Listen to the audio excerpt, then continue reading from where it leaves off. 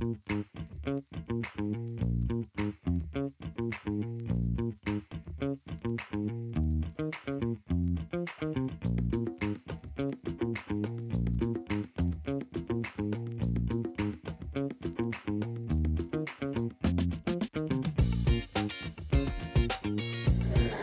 cold pan should be turned on in the cold wall prep tables approximately 45 minutes to an hour before you're going to load the product. That ensures that the cold well is saturated with uh, refrigerant and it allows the cold, cold to maintain the proper cold when you insert the pans.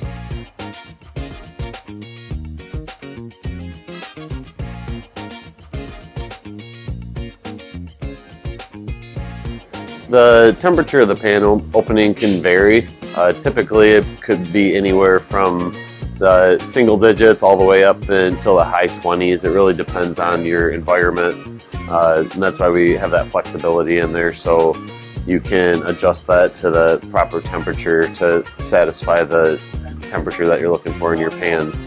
Uh, what we do recommend though is only making adjustments of two degree increments at a time. That way it helps you uh, dial in uh, faster to the proper temperature setting for your environment.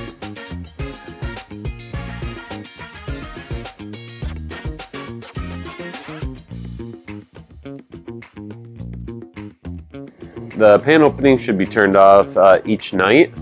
Uh, so that allows for you to fully clean and sanitize the rail through the standard uh, drain in the pan, pan opening.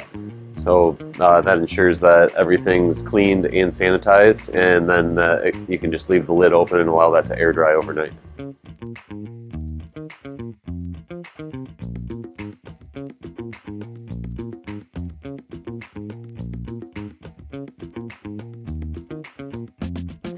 The pan openings all come standard with adapter bars and the adapter bars that come standard in the pan openings will allow you to put any combination of fractional pans into the pan opening. So really you should never need to add any additional adapter bars for the pan opening itself.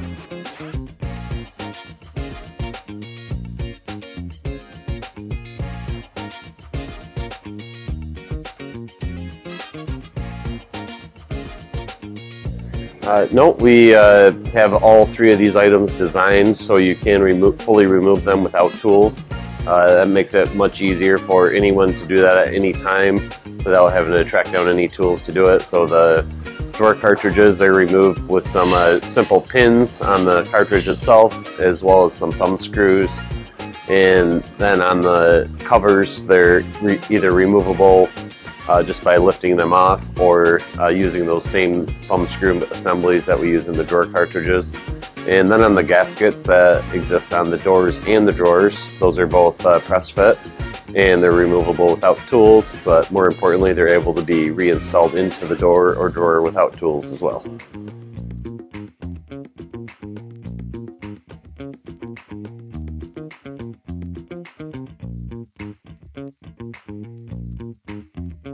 The pan openings will accept a six inch deep, up to a six inch deep pan. And the drawers uh, are a combination uh, depending on model, but typically a double tier set of drawers will take a six inch deep pan and a triple tier set of drawers will take up to a four inch deep set of pans.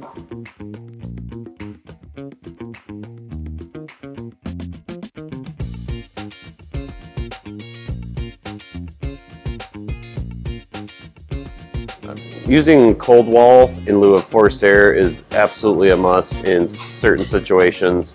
Uh, three of those specifically are uh, high, high heat environments, so right on the cook line adjacent to high heat producing equipment.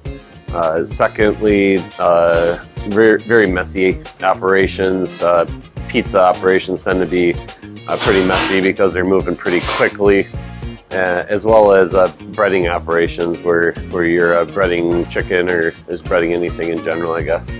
And uh, third, the when you want to operate the prep table without a cover in place. So that could be either lift off covers, so you, because you have a pass-over counter, or uh, your front of the house, uh, so your customers can see your product. So when you have no cover in place, uh, we definitely recommend using a cold wall uh, just to ensure safe temperature holding.